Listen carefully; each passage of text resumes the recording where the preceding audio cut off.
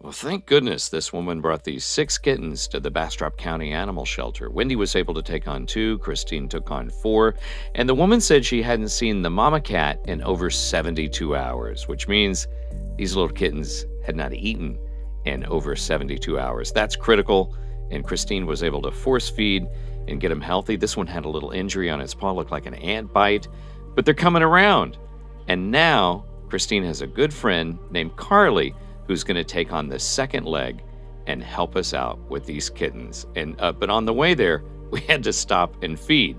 Okay, listen. Here's the deal. I can't unzip this because if I unzip this, yeah, you guys are going to come flying out, and your your mommy's okay. Your mommy's coming. She's gonna yeah, and here you go. Let me pet you through here. She's gonna come and feed you. All right.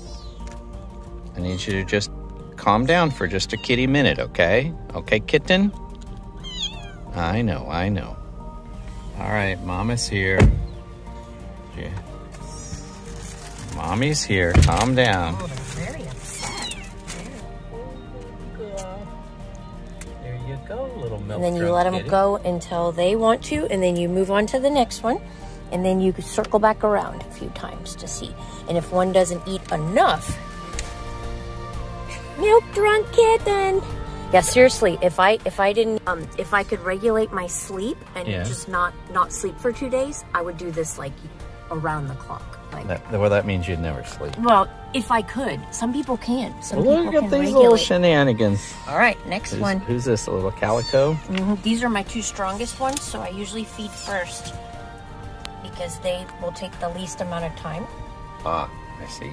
And then I work on the other two. You know, Christine and I never had children, and, and sometimes she says she really feels like she missed out. But when I watch her nurture and take care of these kittens and our other medical fosters, she didn't miss out, and she's created a legacy out of love. You have to hold them still because if you don't, they move and they don't get on the nipple. So it looks mean, but you're supposed to hold. These are a little bit older, so we're not we're as worried about that. Boy, they were hungry. Hear the purring? Almost a purring. Yeah. Here, listen. Oh my god. What a little purr box. This is my most purry one.